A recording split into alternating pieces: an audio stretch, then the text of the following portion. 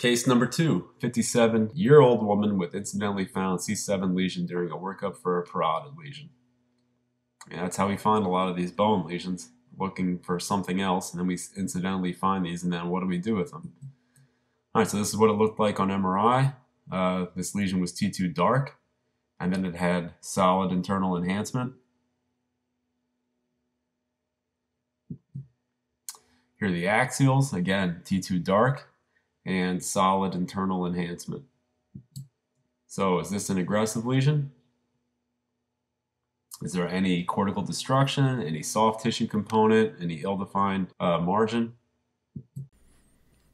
Thanks, Mike, for that explanation. You're now going to want to choose whether you believe this is an aggressive or non aggressive lesion. You can find the links to the subsequent videos in the comments below.